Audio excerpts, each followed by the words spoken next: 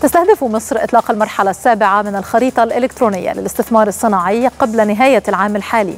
وتضم المرحلة السابعة من الخريطة الإلكترونية للاستثمار الصناعي فرصا استثمارية جديدة على قطع أراض كاملة كاملة المرافق تحديدا في القطاعات الصناعية التي تستهدفها الدولة لتشجيع الاستثمار الصناعي المحلي والأجنبي.